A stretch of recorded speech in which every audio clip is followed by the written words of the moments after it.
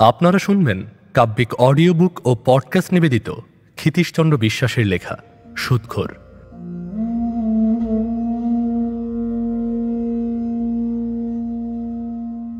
পৌষের শেষ, শীতে গা থরথর করে কাঁপছে।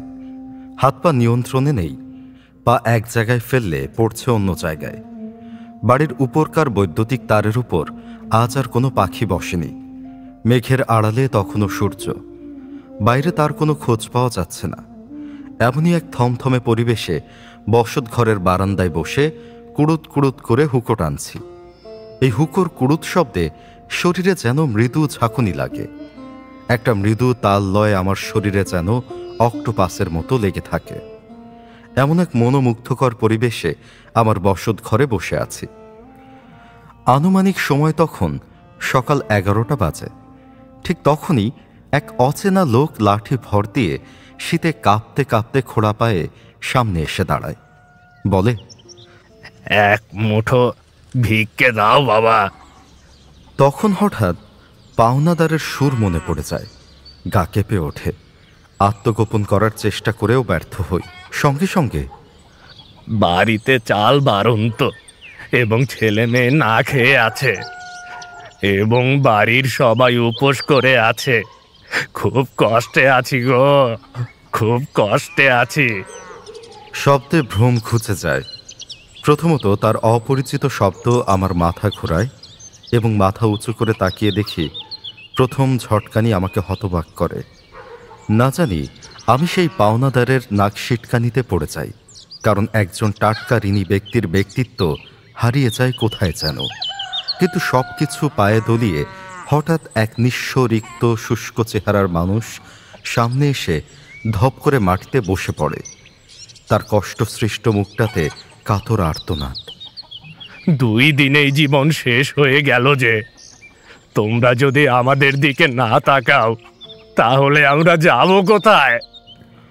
লোকটার এত কাতর আর্তনাদ মনটাকে খুব কাবু করে দেয়।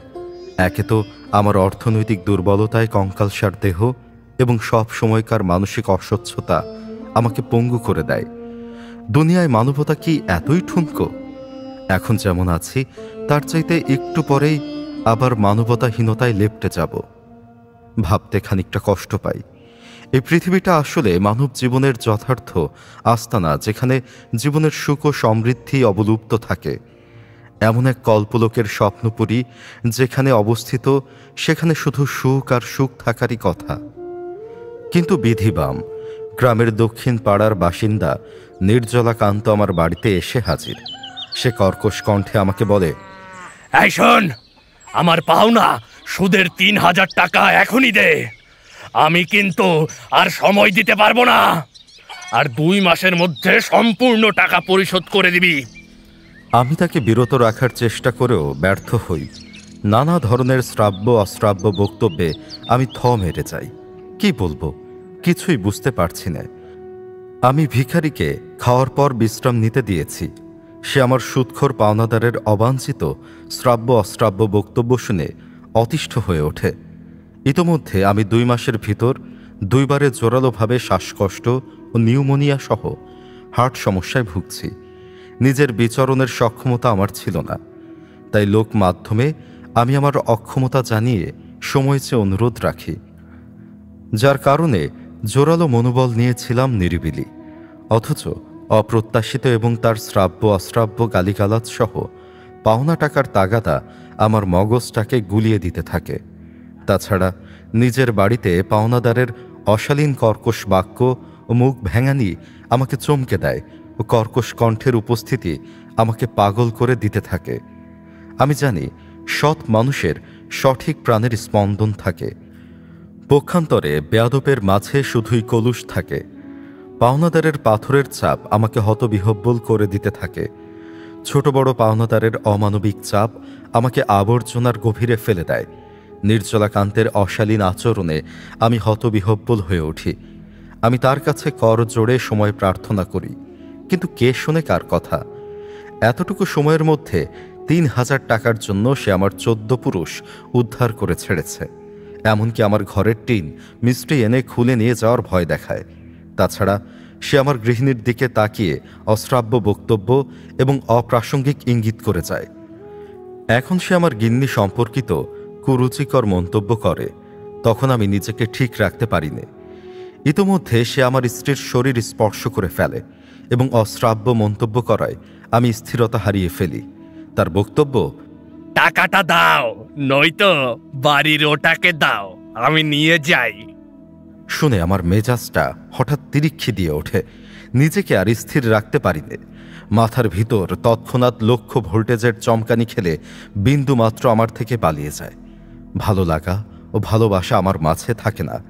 দিকবিদিক জ্ঞান হারিয়ে উঠানে লাফিয়ে পড়েই আমি আর আমাতে খুঁজে পাইনে দিকবিদিক জ্ঞান হারিয়ে থর থর করে কাঁপতে কাঁপতে উঠান থেকে ছো মেরে বিচালি কাটা বটিটা হাতে তুলে সুৎখরের দিকে এগিয়ে যেতেই ভিখারি খপ করে আমার কোমর চাপটে ধরে এবং তৎক্ষণাৎ আমার হাত থেকে বটিটা ছিনিয়ে নেয়। সে পাওনাদারের কাছ থেকে আমার কাছের পাওনার হিসাব নেয়। আসল ও সুদ মিলে মোট আমি দায়ী পাঁচ হাজার টাকা। ভিখারি তার ময়লা চটচটে ন্যাকড়ার গিট খুলে তার ভিতর থেকে পাঁচ হাজার টাকা নিয়ে সুদখোরের হাতে তুলে দেয়। ভিখারির সন্তানদের জন্য ঘর করার পুঞ্জীভূত জমা টাকা তার ক্ষুধার অন্নদাতার সম্মান রক্ষার্থে অকপটে সুদখোরকে দিয়ে দেয়। টাকা দিতে দিতে সে বলে, মানুষের মানবতার কাছে তার এই তুচ্ছ কয়েকটা টাকা যথেষ্ট নয়। আমি তখন নিজেকে সংযত করতে পারি না। হাউমাউ করে কেঁদে গিয়ে ভিখারির গায়ের উপর আছড়ে পড়ি। ভিখারি বলে ক্ষণস্থায়ী জীবনে দীর্ঘস্থায়ী কাজ করতে পারলেই মঙ্গল। মানবতার জয় জয়কার হল। নির্লজ্জ বেহায়া নির্জলা, নির্লজ্জ বেহায়ের মতো দ্রুত পদক্ষেপে সেখান থেকে নিষ্ক্রান্ত হয়ে গেল।